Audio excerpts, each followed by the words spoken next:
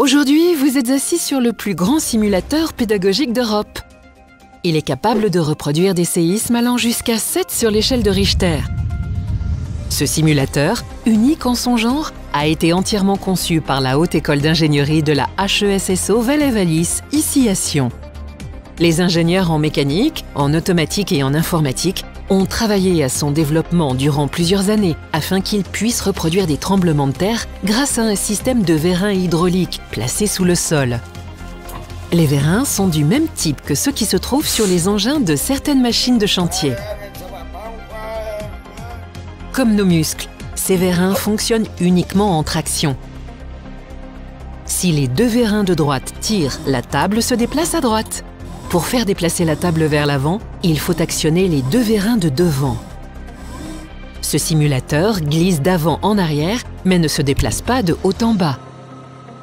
Chaque vérin peut tirer avec une force équivalente à 2,7 tonnes et vous faire subir des accélérations horizontales de 1 G, ce qui correspond à une voiture accélérant de 0 à 100 km/h en 2,7 secondes les ingénieurs en automatique ont programmé un ordinateur qui coordonne les mouvements de ces quatre vérins.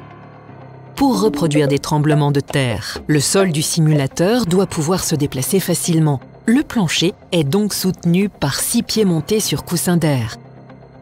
La pression de l'air qui circule dans les tuyaux pourrait soulever 1 kg. Mais une fois sous le pied, la surface est beaucoup plus grande et la même pression suffit à soulever un poids de 500 kg. Les pieds deviennent alors de véritables hydroglisseurs, glissant sur un coussin d'air. Heureusement, le simulateur ne se déplace pas de plus de 30 cm, ce qui est déjà conséquent pour un géant de 6 mètres par 5 qui pèse 3 tonnes lorsque la salle est pleine. Les compétences qui ont servi à fabriquer ce simulateur sont enseignées dans les formations bachelor de la Haute École d'ingénierie de Sion.